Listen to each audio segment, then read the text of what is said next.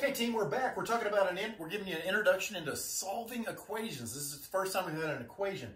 What's an equation? Equation has an equal sign, and an equation has something on each side of it. You'll notice before, if we only had something on one side of it, I called it an expression. But if you have something with something on this side and something on this side, that is an equation.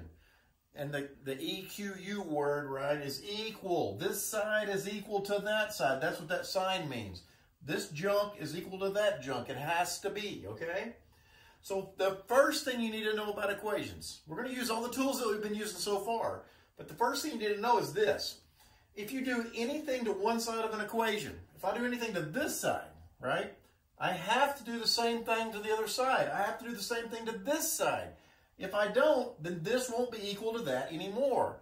If you're on one side of the table and I'm on the other, and somebody says, hey, I'll give you an apple, but the other guy doesn't have an apple. Well, me and him aren't equal anymore. We don't, I got an apple and he doesn't, right?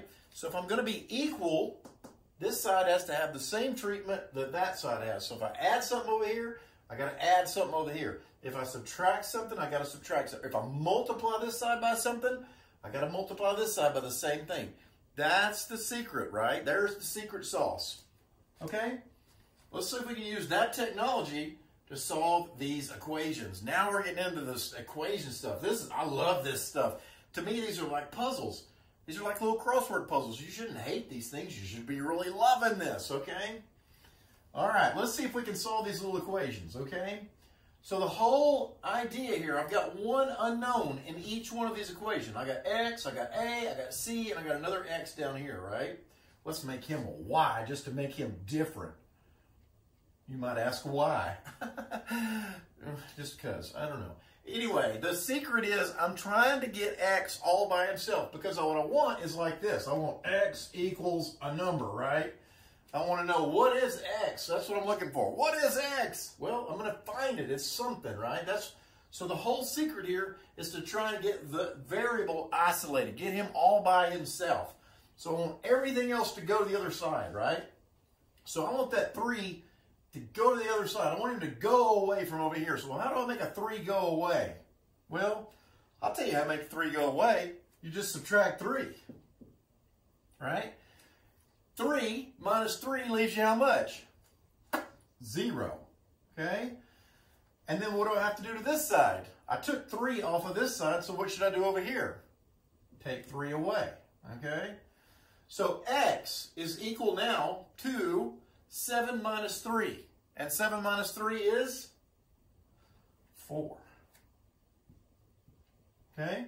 You see how easy that is? we get this guy isolated. We want A all by himself, okay? I want A all by himself. So you know what I'm going to do? I'm going to add an A to each side. So if I add an A to this side and an add an A to this side, what happens to the A right here? He goes away, doesn't he? Negative A plus A is 0, okay? So I wind up with 3 is equal to minus 9 plus A, and I want A all by himself, so I got to get rid of that 9, okay? And I just moved the A over there because I like him to be positive, right? I don't want him to be negative. So, uh, how do I get rid of a minus 9? Well, you add 9 to each side, right? That'll go to 0, and then I add 9 to this side. So A is equal to 3 plus 9, which is 12. Nice. Okay? Can we do it again? I want C by himself. Ooh, I don't have add this time. What should we do? Well, here's what we have. These two guys are multiplied together, right? So how do I get rid of a minus 7 on this side? I want him gone. I tell you what you can do. You could divide this side by minus 7 and divide that side by minus 7. Because what is minus 7 divided by minus 7? 1. So that's going to leave you with C is equal to 42 over minus 7. Okay? And 42, how many times does 7 go into 42? Six times. Okay, minus 6. Okay? So C is equal to minus 6 for that one. We, I mean, what we're doing right now, this is at the heart of algebra. This is what it is right here, y'all. You should be excited. Okay, now up here, I got rid of a, a multiplication by dividing. So how do I get rid of a divide? By multiplying. Yes, by multiplying. Okay, because if I multiply this side by minus 2, and I multiply this side by minus 2, right? The minus 2, which is really a minus 2 over 1, right? Whoop, whoop. Those cancel out, don't they? They divide away. Minus 2 over minus 2 is how much? 1.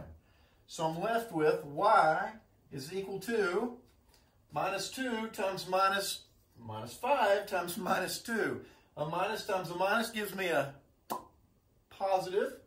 So positive 5 times 2, it's 10. And there you go. There's our first introduction into solving equations. They're gonna the equations are gonna get bigger, badder, stronger, faster, gnarlier. We can handle it. I'll help you. All right, hang on.